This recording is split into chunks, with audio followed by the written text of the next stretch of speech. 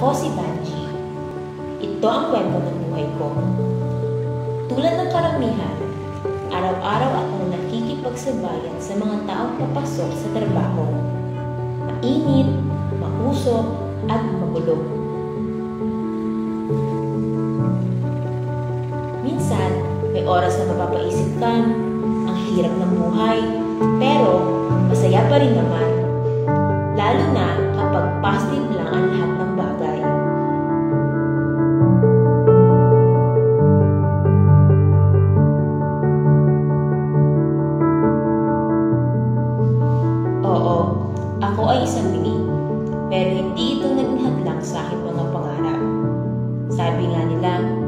Walang imposible sa taong may pangarap.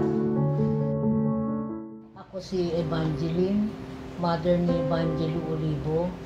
Ngayon, ang buhay ng anak ko, hindi ko naman totally akin, di ba? Adopted ko siya, na akong ninang niya, na inadapt ko siya dahil ang parents niya, both deceased na.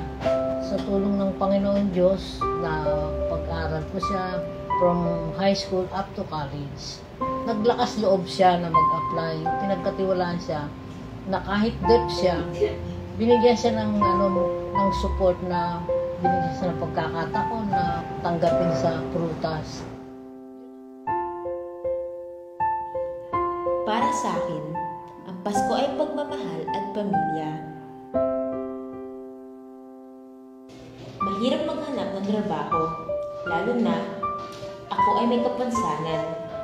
Nag-try ako sa iba't ibang kumpanya, pero dito, sinubukan ko ang training. Ngayon, 2 years na akong nagtatrabaho sa frutas. Salamat, frutas! At kinuha niyo akong magtrabaho dito. At sana, let's share the love. Mag-hire pa ng ibang deaf. Alam mo, Banji, kahit ganyan ka, eh, mahal na mahal kita. Mulat sa pool, alam mo yan, dahil pinaglabang kita.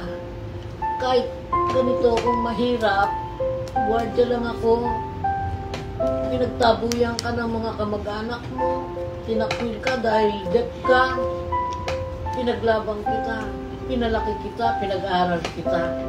Kaya, napakaswerte ko sa iyo na, na nakuha kita, naging anak kita.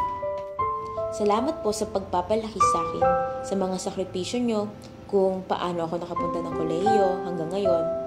Ngayon na nagtatrabaho na ako, ako naman ang susuporta sa inyo. Mahal na mahal ko po kayo.